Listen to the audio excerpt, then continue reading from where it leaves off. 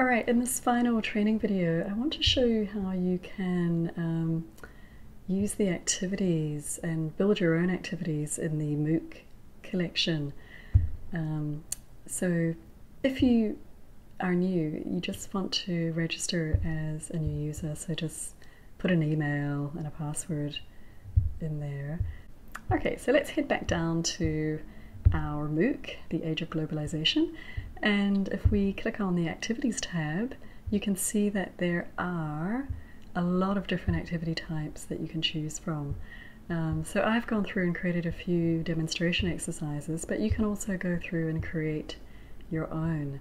Um, this is a great way to practice with the lectures and just to have fun as you learn more about what Dr. Hoberman has actually said in these lectures. Okay, so at the top you have some relatively simple types of activities. Um, if we go to word guessing, for example, this is just a typical cloze type activity. So let's go back to introduction. I'm going to give that same name to the activity actually. So uh, lecture 1.1. You could also create a word list at the top. So I'll just display that for you. So that means that the words that you need are going to be listed up here at the top just to you know help you out. Okay, so um, I think that's fine and, and once you're done with that you can click on save and then your activity is going to uh, appear here. So anybody who comes into the collection will be able to use your activity as well and then of course they can create exercises as well. All right, let's go and choose another one. Um, let's choose something a little bit more interactive. So collocations guessing. Okay, so I'm just going to call this test. And okay, so this lecture series is about globalization, so I think it would be quite nice to pull out words around globalization, maybe corruption, that seems to be another one that occurs quite a lot. A really useful thing that you can do um, for this activity is just to choose the words that are occurring frequently within this collection. So let's grab some of these words. So we've got um, cultural,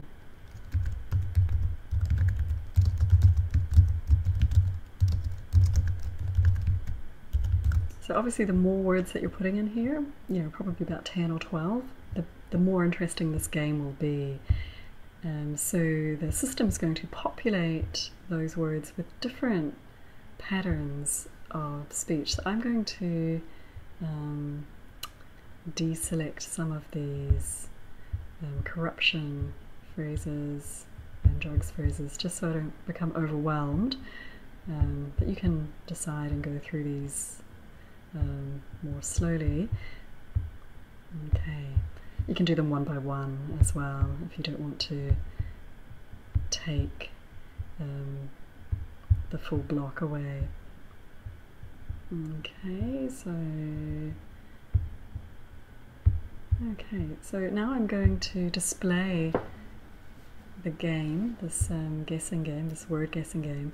So what you need to do is just click on the button that says start a question and these phrases that are missing keywords will come down the screen. And what you're supposed to do is um, type in a word that you think matches. So become law. Oh, okay. Obey the law. Take the law into. So um, what you can do is show the remaining collocations. Um, and then you can click on the collocations and this links you back to a much larger database of um, naturally occurring English to show you how this expression take the law into their own hands um, or your own hands, how it's used. Okay, so let's move on to the next question. All right, so start a question. Hmm. Okay, what will that be? Uh, Okay. Law again? No? Okay. Ah, yes. Corruption. Okay, so you get the idea. You can also um, make this a little bit harder for yourself by speeding it up. Okay, you can go to very fast just to make it more challenging.